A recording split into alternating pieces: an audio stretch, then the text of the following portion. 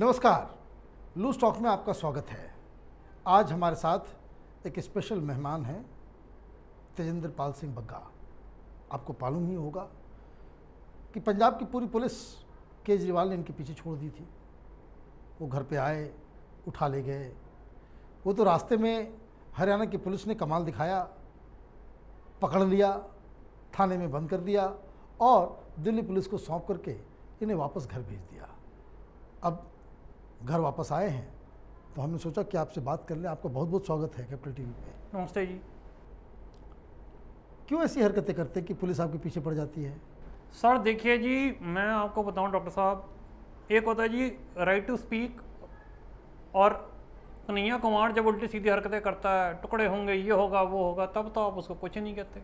हैं उसके आप मिलने भी जाते हो छुप छुप करके रवीश कुमार के साथ। हैं जी? और हमने अगर सही तरीके से बात कर दी तो उसमें भी आपको दिक्कत है। हमने केवल और केवल ट्वीट किया है। पूरा का पूरा मेरा सब चीज़ बिगाड़ करके रख दी इन लोगों ने। पकड़ करके करते ऐसे निकाल करके लिख के गए। मैं बता नहीं सकता हूँ आपको। मन तो करे कि मतलब मेरे को बंदा मिला, मन मन मन मन में रखा था कि तेरी भैन दी और तेरी माँ दी कर दूँ। लेकिन मैं हूँ शरीफ बंदा, सर। मैंने सिर्फ़ ट्वीट किया कि भाई आप क्यों क्यों कश्मीरी जो पंडित हैं, उन लोगों को, उनके साथ जो हुआ, उस पर फ़िल्म बनी मिशन नहीं, कौन सी? कश्मीर फाइल्स बोल रहा है यूट्यूब पर डाल दो। और तेरी हरकतें नहीं डालो यूट्यूब पे। माई सॉरी अच्छा ये गुस्सा नाराज़गी इस वजह से तो नहीं कि पंजाब की पुलिस ने आपकी खातिरदारी कर दी आपको चोटे हुए हुए भी आई पिटाई भी हुई क्या आपकी? सर मैं आपको बताऊँ ये जो मैं बार बार यूँ यूँ यूँ यूँ कर रहा हूँ मैं अपनी चोटे ढक रहा हूँ मैं आपको बताऊँ। मैं दिखा मैं उस तरीके का बंदा हो ही नहीं कि अपने ज़ख्म आपको दिखाऊँ।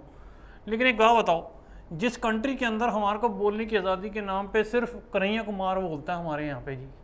उल्टी उल्टी वक्ता है, हैं? अगर हमने कुछ वक्त दी बोल दी, लिख दिया, उसके अंदर भी कोई दिक्कत हो रही है आपको? और ये बंदा कमार विश्वास के घर पे भेजता है जी वहाँ से, जो पंजाब से पुलिस। क्योंकि यहाँ की पुलिस पे तो ज़ोर है नहीं दिल्ली की पुलिस के ऊपर उसका। मेरे यहाँ भी वही सेम पैटर्न इसने अपनाया, पंजाब से भेज दीजिए। अब उन लोगों ने मतलब देखो, कोई मेरा ये नहीं कि भाई मेरे घर में डैडी हैं फैमिली है, कुछ है।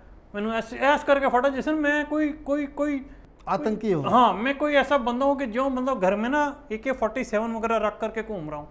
भाई अगर तुम्हारे को इतनी वो है ना कि जा करके ना वो, वो देखो ओ, कौन से जहाँ पे कन्हैया कुमार जैसे पलते हैं ना वहाँ पे किन्नी किन्नी किन्नी बंदूकें आपको मिलेंगी और वही आपके ना ऐसी ऐसी जगह दे देनी है उन्होंने कि फोर्टी सेवन गोलियाँ एक साथ निकलनी है। जे की बात कर जी।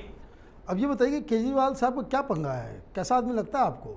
मुझे पता है वो बंदा है ही ऐसा। उसकी बात करते ही ना आपका नेगेटिविटी आ जाएगी दिमाग में। क्यों आएगी?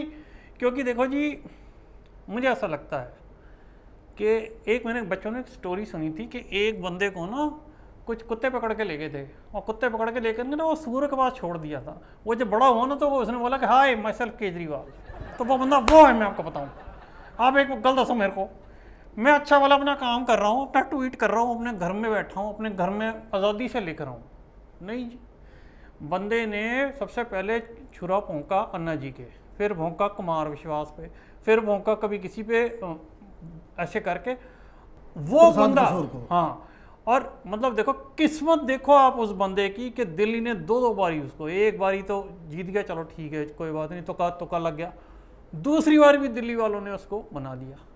देखो बोजी ये कहता है मैं फ्री में पानी देता हूँ फ्री में बिजली देता हूँ फ्री में। अब इसके ना फ्री में चांटे पड़ने वाले हैं फ्री में लठ पड़ेंगे फ्री के अंदर इसके दोनों केजरीवाल सूझेंगे तब ये ठीक होगा। अब ये बताइए कि अब आगे क्या इरादा है? आगे कुछ नहीं जी। पुलिस से डर गए? सर जी डरने वाला बंदा मैं नहीं जी। मेरी मैं आपको पता है सरदार बंदा हूँ मैं किसी से डरने वाला नहीं। और मैं क्यों डरूँ जी जब ये कन्हैया कुमार जैसे बरखा छत जैसी इतने बड़े मुँह वाली ये नहीं डरते तो मैं क्यों डरूँ? मेरे को क्या डरने की बात है जी? अच्छा ये आपको अच्छा लग रहा है कि भाई सारे बीजेपी के बड़े बड़े लीडर्स आपको फ़ोन कर रहे हैं मिलने के लिए लोग आ रहे हैं? और आपकी जो रिहाई हुई, वो सीधे अमित शाह ने फ़ोन किया था कि भाई किसी कीमत उस बच्चे को जो है बाहर पंजाब मत पहुँचने दो। सर जी, मेरे ना आँसू आ गए थे मैं, मेरे को ना वो अभिनंदन वाली फीलिंग आ गई थी, जैसे अभिनंदन को उन्होंने बुलाया था ना पाकिस्तान से। इस बंदे के कहर से मुझे अमित शाह साहब ने बचाया। क्यों? क्योंकि वो जानते हैं कि ये बंदा सन की नंबर वन है। और मतलब किसी किसी आप देखो दिल्ली के अंदर क्या कर रखा है सर, इसने हर जगह जुगियाँ हर जगह मतलब कहीं कुछ बना रहा है, कहीं कुछ बना रहा है, दारू के रेट आधे कर देता है, उसका जो बंदा है वो जो पियक्कड़ है, पंजाब में सीएम बना दिया यहाँ पे आता अपना स्टॉक भरवाता है, फिर वो चला जाता है। हमें बता रहा है ये। और क्या कह रहा है? कह रहा है, जी, आप एक काम करो, दो करोड़ रुपये दो एमसीडी का टिकट लो।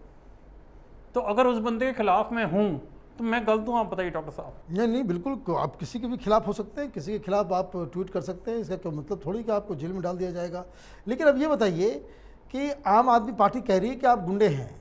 आप दंगाई हैं आप जो हैं वो दो दो समुदाय के बीच भावना भड़काने का काम आप करते हैं। और जी भावना कहाँ से पड़ेगी? एक बा, एक बात बताऊँ मुझे। मैं जो बोल रहा हूँ कि जब आपके पास कुछ और चारा है नहीं आप गलती से सीएम बन गए हो पुलिस आपके पास है नहीं। पुलिस बोलती है कि आप पंद्रह मिनट के लिए केजरीवाल को हमको दे दो हम बताते हैं फिर इसको कि कौन भड़काता है दंगे। बंदा ये नहीं पता होता इस बंदे को जी कि सिलेंडर में चोरी इसने की कोरोना में। हैं जी? ऑक्सीजन के सिलेंडर मास्क पता नहीं किस किस चीज़ में तो इस बंदे ने पैसा नहीं खाया। और उसके बाद जब हम इससे कोई सवाल पूछे तो हमारे को कहलाता है ये कहता है तुसी दंगे कर दो तुसी यह कर दो तुसी कर दो तेरी भैन तेरी अरे ये Sorry, ऐसे, ऐसे, नहीं। माफ़ी चाहूँगा। ऐसे नहीं। आई एम सॉरी हाँ Sorry, sir. कंटिन्यू कीजिए। नहीं मतलब कि मैं आदमी अंदर तो खुंदक चढ़ नहीं चढ़ती है सर मैं सिर्फ़ लिख करके छोड़ देता हूँ क्या करूँ बताओ? इसलिए आपने चुनौती दी है धमकी दी है कि भाई जब तक माफ़ी नहीं मांगोगे तब तक हम चैन से नहीं बैठे मैं कह दिया जी मैंने कहा तुसी अगर माफ़ी नहीं मांगी ना कश्मीरी पंडित भाइयों से इन लोग मतलब इन लोगों से तो मैं तुम्हारा जीना हराम कर देना। क्यों? क्योंकि मैं आप जी मुझसे सब कुछ ले सकते हो मुझे जेल में डाल सकते हो लेकिन मेरी लिखने की बोलने की आज़ादी नहीं छीन सकते। बिल्कुल सही बात है। अब एक बात बताइए कि अब आगे क्या होगा? अगर फिर से पंजाब पुलिस आपको पकड़ के ले जाती है तो फिर क्या आपको लग रहा है कि अब अब तो हिम्मत है नहीं क्योंकि अभी तक तो मैं अकेला था ना तो मेरे को फड़ लिया उन्होंने। अब अमित शाह साहब। इसके ना मैं बता रहा हूँ ऐसी ऐसी जगह पे दिक्कतें होनी शुरू हो जाएँगी। ये बंदा जो नॉर्मल बंदे को परेशान कर रहा है ना जो ये इसने मचा रखी है दिल्ली के अंदर मैं क्या बोलूँ कंजर पंथियाँ मचा रखी है ना ये सब बंद कर देंगे इसकी मैं बता रहा हूँ आपको। कुछ लोग ये कह रहे हैं कि आपका एपिसोड इसलिए किया गया क्योंकि केजरीवाल ने वो बिजली माफ़ वाले पॉलिसी के ऊपर रिथिंक करना शुरू कर दिया है। सर, एक बात बताओ मेरे को, पिस्ता कौन है? हम जैसे, आप जैसे बंदे मिडिल क्लास लोग फंसते हैं, लोगों ने झुग्गियों के बाहर तारे डाल रखी हैं। उनकी तो वैसे ही फ्री है, तू क्या फ्री दे रहा है? बताओ आप, हैं जी? और उसके बाद जो बड़े बड़े हैं, जिनको इसकी चाटुकारितापंथी हमें नहीं पता वहाँ पे चाट चाट करके इन्हें पैसे दे दो जी, इन्हें पैसे दे दो जी, हमारे पैसे ख़त्म हो गए। और सारे पैसे लगाता कहाँ है ये बंदा? अपने एड्स में टीवी में रेडियो में, इसमें। इतने ऐड दे रहे हैं ना, इसको देखना कितनी एड्स हो जाएगी, मैं बता रहा हूँ। आपको बदबू है मेरी बग्गा दी बग्गा दी बदबू आएगी। ऑन स्क्रीन आएगी कैपिटल टीवी तो होते आएगी। माई सॉरी मतलब कि आप बाज नहीं आने वाले हैं। आप मुझे एक बात बताइए।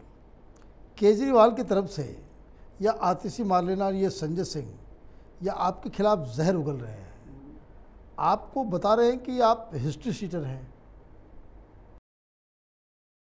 ट्वीट से इतना परेशानी हो गई। हाँ मैं वही कह रहा हूँ सर आपने कभी आतिशी का चेहरा देखा है? आप टीवी को उल्टा कर दो ना तब भी वैसी लगती है वो।